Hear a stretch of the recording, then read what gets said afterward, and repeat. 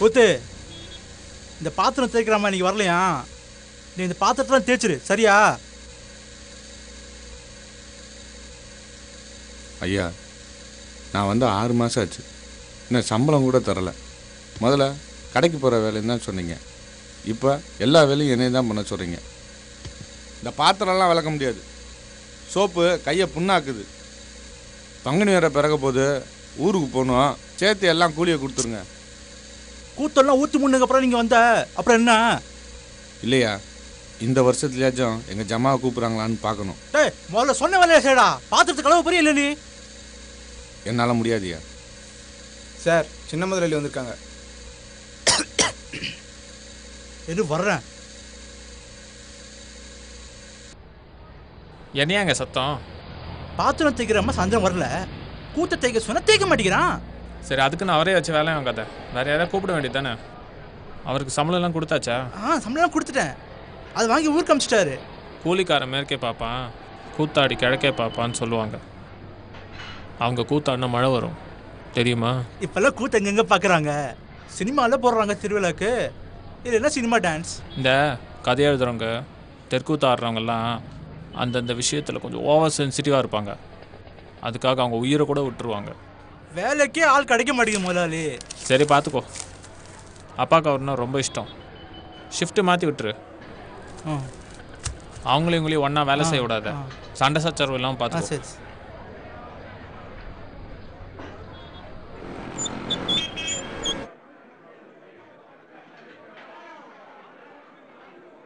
டேய் என்ன நீ இன்னும் பாத்திரம் தேய்க்காம இருக்க?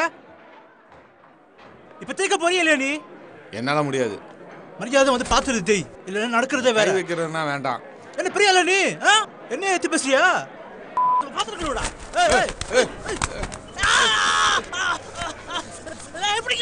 ஆ! ஏய், நில்றா,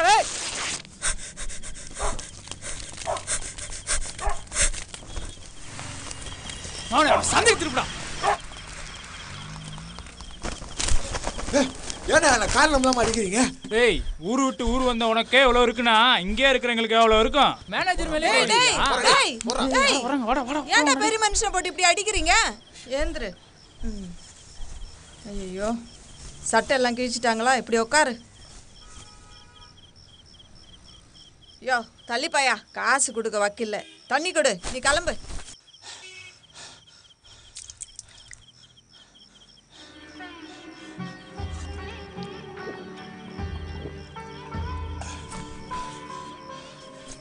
இந்தாப்பா இந்த சட்டையை போட்டுக்கோ.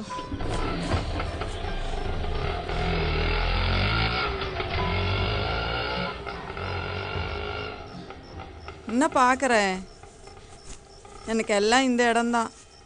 எனக்கு தாலி கட்டின வீட்டுக்காரு படுத்த படுக்கையாக கிடக்கிறாரு. அப்போ என் பொண்ணு வயிற்றுல மூணு மாதம் சுண்ணாம்படிக்க போன இடத்துல மூணாவது மாடியிலேருந்து கீழே விழுந்துட்டாரு. இடுப்பு கீழே சொர்ணையே போச்சு. இருபது வருஷம். எப்படி ஓடிச்சுன்னே தெரில. நாய் படாத பாடுபட்டு என் பிள்ளை ஒரு வழியாக படிக்க வச்சுட்டேன். டாக்டர் படிக்கிறா.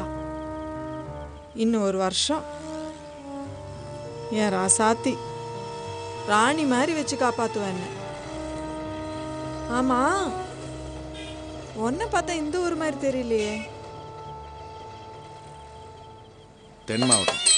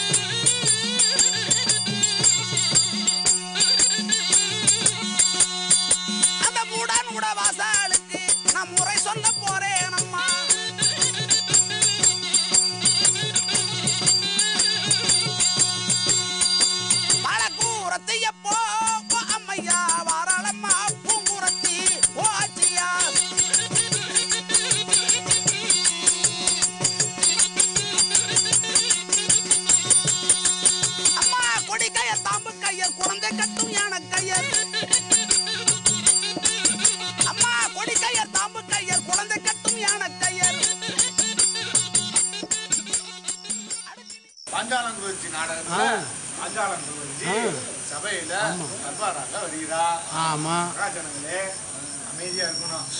அம்மா வர்றா. சத்தம் போடக்கூடாது. அம்மா வரட்டுங்களா வரலாம் வரலாம் வரலாம். சத்திய துரோபதைக்கு தர்மதயால் ஒரு விடையளித்து சித்தமும் கலங்கி வாடி. தேங்கியே இருக்கும் போது பத்தினிய ரூபம் மாறி பாலனை இடுப்பில் வைத்து அத்திமா நகரை நோக்கி அம்மனும் வருகின்றாளே.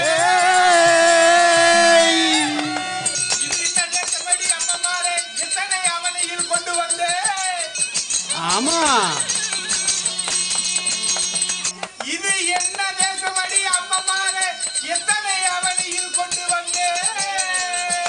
சூது செய்யும் என் தமையன் துளசி மூடு மலையால் வாடு மலர்கோடு கண்ணம் கடி நேர்ந்தாலும் வைத்தியம் அநேகம் செய்வேன்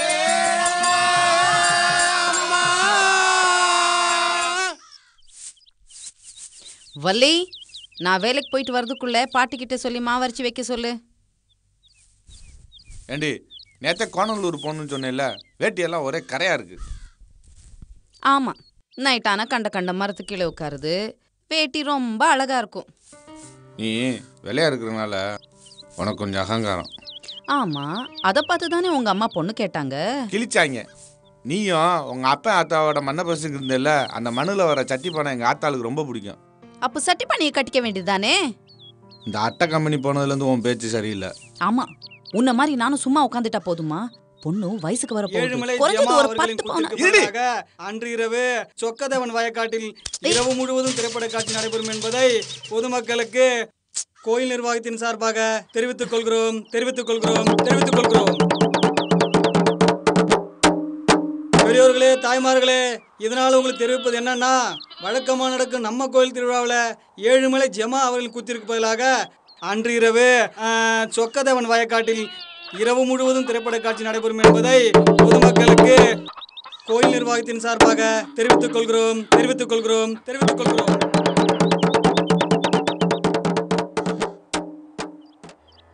பெரியோர்களே தாய்மார்களே இதனால் உங்களுக்கு தெரிவிப்பது என்னன்னா வழக்கமாக நடக்கும் நம்ம கோயில் திருவிழாவில் ஏழுமலை ஜெமா அவர்கள் கூத்திற்கு பதிலாக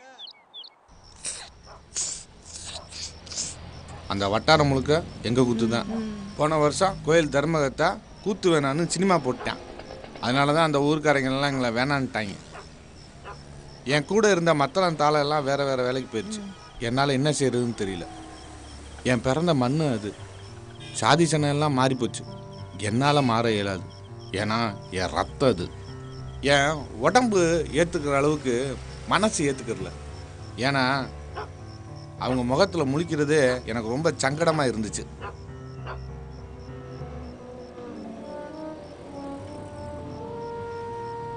இங்கெல்லாம் உன்னால நின்று பழைக்க முடியாதுப்பா. ஊருக்கு போய் சேரு.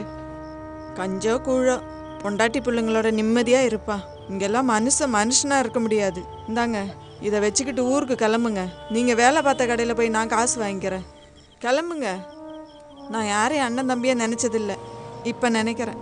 நீங்கள் கிளம்புங்க.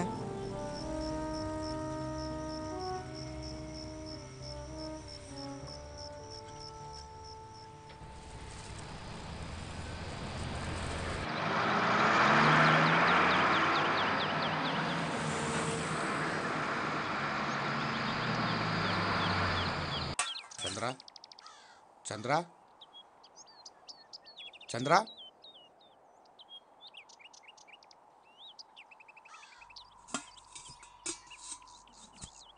ஏண்டி கூப்பிட்டு காதுல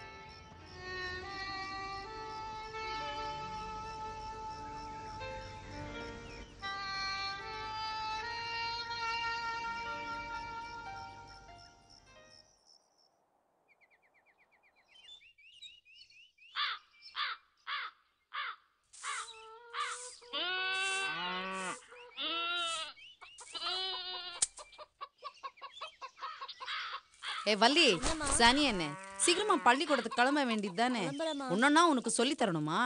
இன்னும் சின்ன பிள்ளைத்தனமா விளையாடிக்கிட்டு இருக்கே எல்லாம் என் தலை எழுத்து எந்த நேரத்துல வாக்குப்பட்டேனோ தெரியல. வா வா வா கிளம்பு. தலைய வரைக்கும்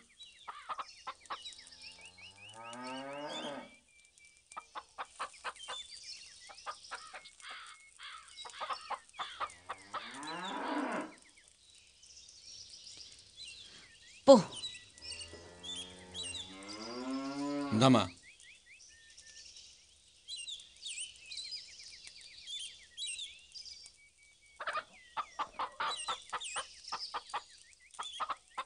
அம்மாட்ட கொடு சரிப்பா.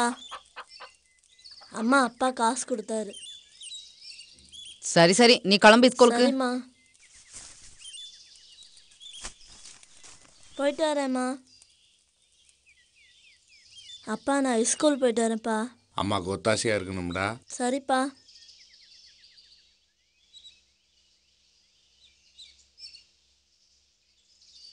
என்னது இது? இதுக்கு தான் ஆறு மாசமா காணாம போனியா? இவ்வளவு நாள் எவன் கொடுத்தா எனக்கு?